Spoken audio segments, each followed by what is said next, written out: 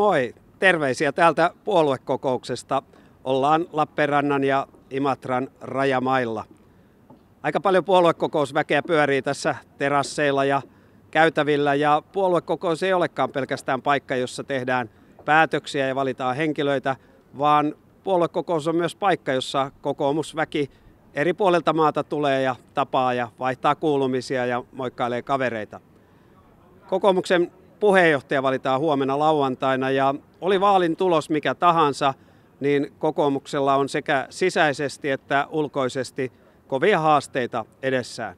Sisäisesti on tietysti kyse siitä, että valittiin kuka tahansa kolmesta kokoomuksen puheenjohtajaksi, niin meidän eduskuntaryhmässä ja laajemminkin kokoomuksessa on ryhmittäydyttävä uuden puheenjohtajan taakse ja tueksi ja on kaikin tavoin lopetettava tietysti silloin puolueen sisäinen puheenjohtajapeli, koska se on saanut ratkaisunsa.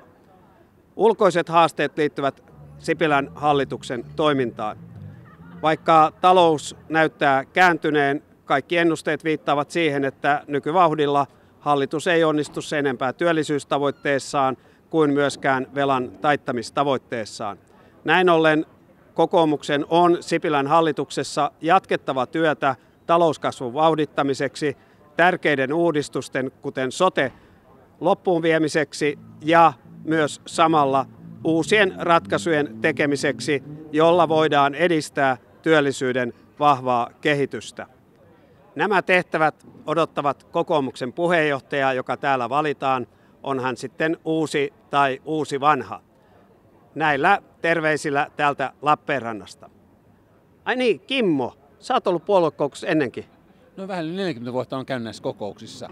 Ja aina puolue on näistä lähtenyt eteenpäin. Täällä on tehty hyviä päätöksiä, joilla on tavoitteita kirkastettu ja kerrottu keinoja, millä niihin päästään.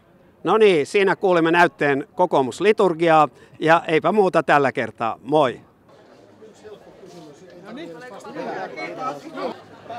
Moi!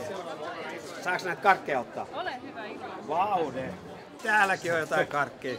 On. Saaks näitä ottaa? Saa, no saa. Okei, okay, saaks ottaa kaksi? Saa. Okei, okay, mä otan kaksi näitä.